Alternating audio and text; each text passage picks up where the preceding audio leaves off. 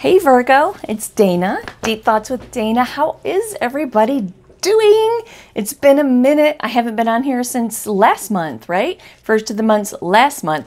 I have been so busy. I've had three different clients fly me out to do special um, things for them and, and their friends and their family. I've helped my brother move. I have I've just been so insanely busy. So I apologize for this being um, nine days late, okay? But it still is applicable because it's from whenever you resonate with it until whenever you don't, right? So timing really isn't a big thing in tarot, but I know everybody lines up and expects their readings, right? Um, so this is your reading. This is a general reading for the sign of Virgo. Um, as usual, this is not your reading, okay? If you would like to understand how general readings on YouTube apply to your life, there is a five minute link in the box below that will explain everything. So if you see yourself in this reading, understand that you might recognize aspects of what's going on in your situation, but this reading isn't for you. It's just not for you. If you find that you need um, wisdom, guidance, understanding, clarification, um, please re- reach out and have somebody read your cards. Right? You can you can reach me at deepthoughtswithdana.com. Again, link in the box below um, or your favorite tarot card reader, okay? But don't make a life altering decision on a general tarot card reading. That's just insanity, okay? All right, Virgo. Virgo, Virgo, Virgo. You enter into this reading in the hangman energy, right? Pausing, surrendering. Oh, and y'all don't judge me. I need to, my nails, I like I said, I've been just like crazy. So low priority. So don't judge me.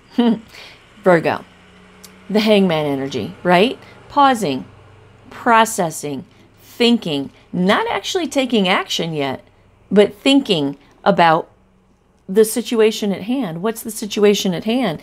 The situation at hand is you need to make a regretful but necessary transition away from something, right? And you're in this hangman energy, really putting the wood to the fire, trying to figure out what it is you're going to do about this situation you want to bolt, right? You want to bounce. You're like, mm, out, out, out. But you're pausing for a minute and you're thinking about some things. Valor. This is a card about personal bravery in the face of danger, right? That's what you're looking at here. And I can tell you right now, you're not in danger, okay? Not like like in mortal danger, so don't freak out. Um, at least not in this reading. You're not, again, personal reading. So valor, facing danger with personal bravery. And that's what you're doing in this hangman energy, right? You're figuring out what the hell you're going to do. Oh, and I swear, if you don't like it, go someplace else. You're trying to bring some peace into your life, right? Desperately need to bring some peace to this situation because, like I said, you're, you you want to head for calmer waters. This this is no bueno for you anymore, right? Want to bring some peace into your life and you're about to make a decision, right? About to make a decision. That's why you're in the hangman energy, right? Because you know that this decision is irrevocable.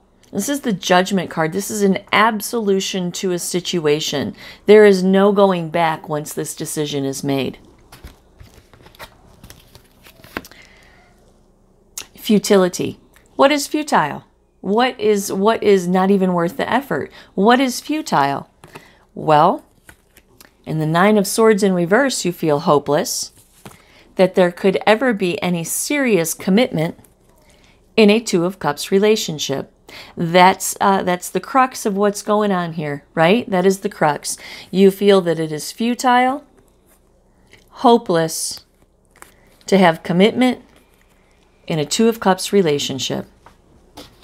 Two of Cups relationship, unified love, partnership, um, a re- a, an important relationship, okay? Could be love, could be family, could be work, could be anything, okay? But you feel that it's futile to even try because it's not going to make, right? That's what you're thinking about in that hangman energy. That's what the judgment card is about. Trying to bring some peace into your life because you're trying to make this work and it's not going, right?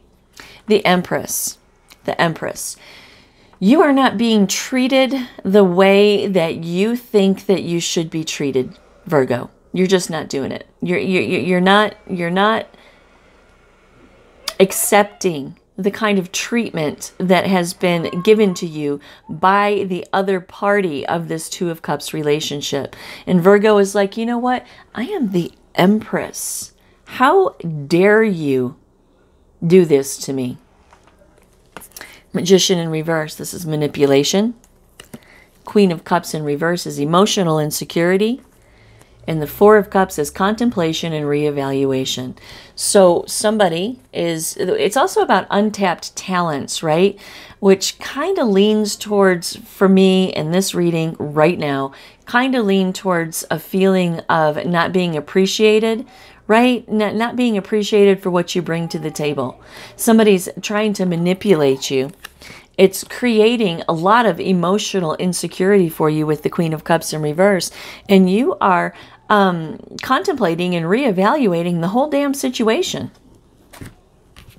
Science. I love this card. This card is about being accountable.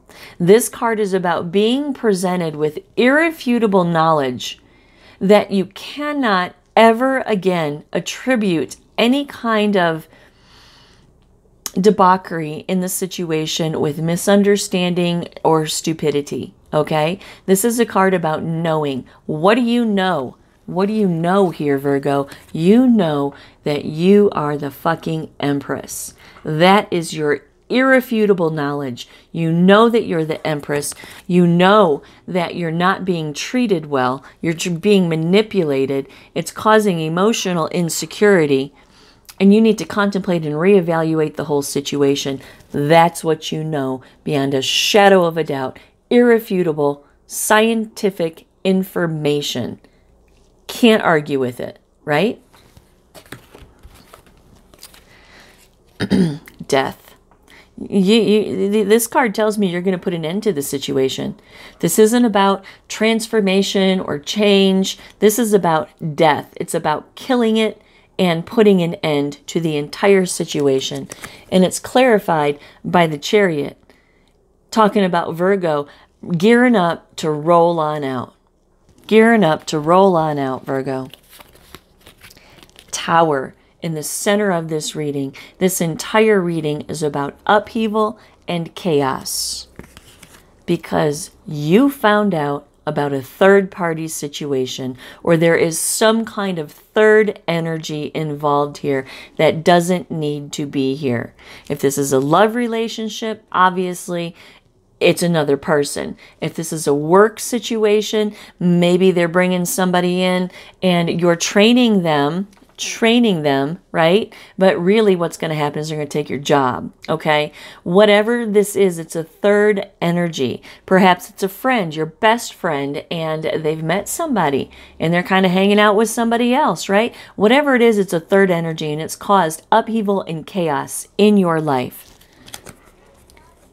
to the King of Swords in reverse. This tells me several things. This tells me, number one, you're pissed off. This tells me, number two, that the person that you're dealing with um, is, is abusing their power, right? Abusing their power in the relationship, manipulating you, causing problems for you, making you feel emotionally insecure, this is in the center of your reading upheaval and chaos because of a third energy that doesn't belong. Somebody is misusing their power, they're being uh, abusive with the power that they hold in the relationship. Maybe it's the power over your feelings, right? And this also tells me that you're angry. Angry.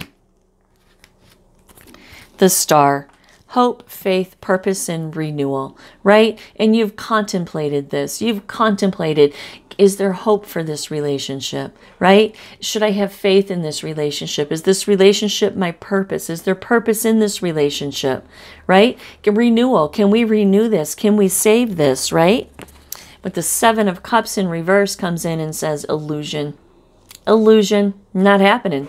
Illusion to the Knight of Pentacles in reverse, feeling stuck, right?